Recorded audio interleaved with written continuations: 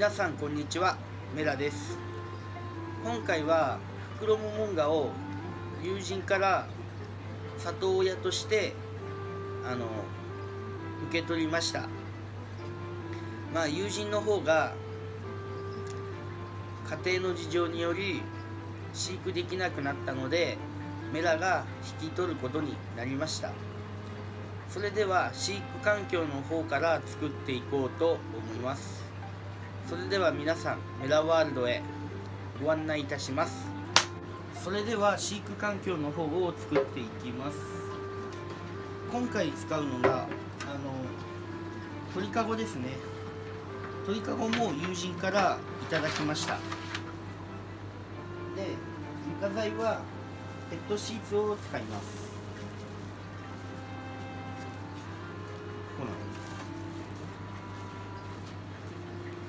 まあちょっとサイズがなんか合わないけどまあこれを使っていきます。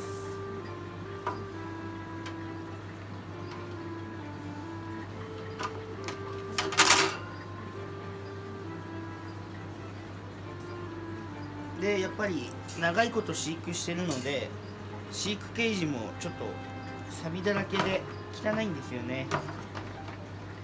なのでまあメラが新しい飼育ケージを買ってあげようかなとは思っていますね。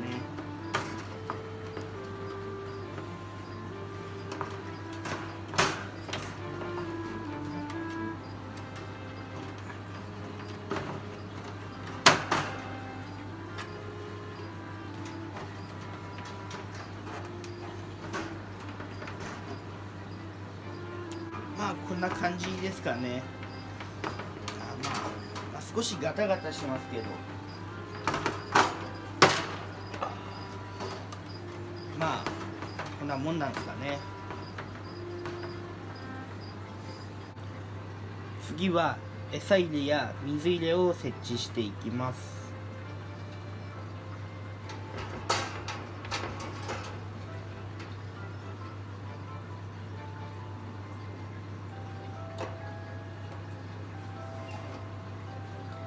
さっきのが水入れで次が餌入れですね。こっちか。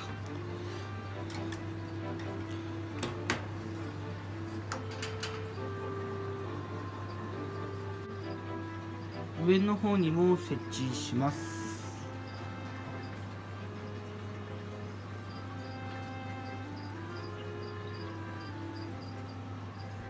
次は棒を設置していきます。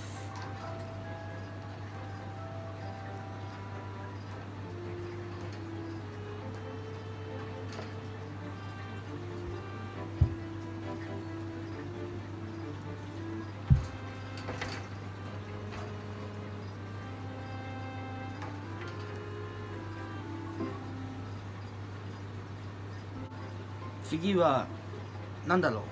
これですねこれ。ステージっていうのかな。このステージってやつをセッティングしていきます。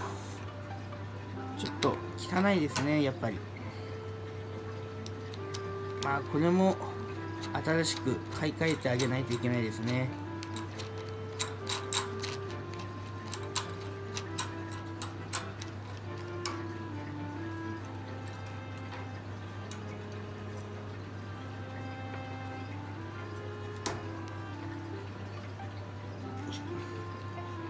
もう一つステージってやつを設置していきます。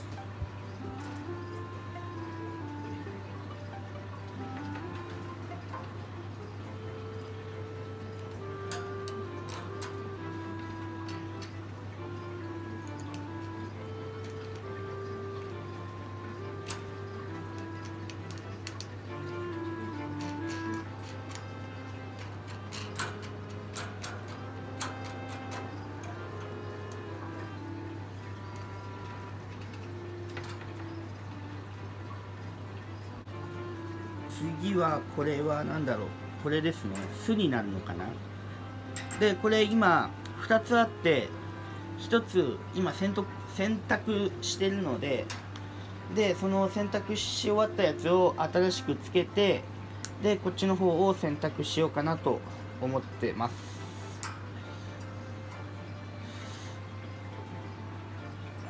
こんなんでいいのかな？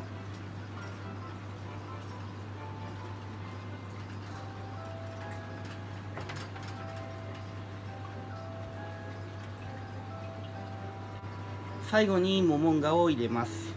こんな感じの子ですね。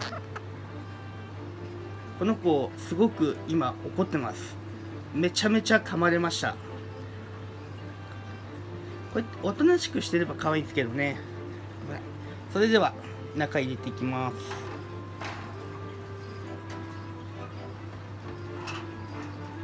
めちゃめちゃ噛まれましたね。結構痛かったです。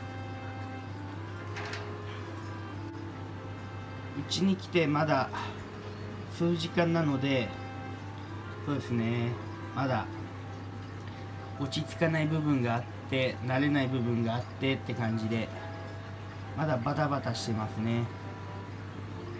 まあこれからベタ慣れするように頑張っていこうと思います。この子の紹介をしようかなと思ったんですけどちょっとまだうちに来て暴れ回ってるのでちょっとそっとしといてあげます。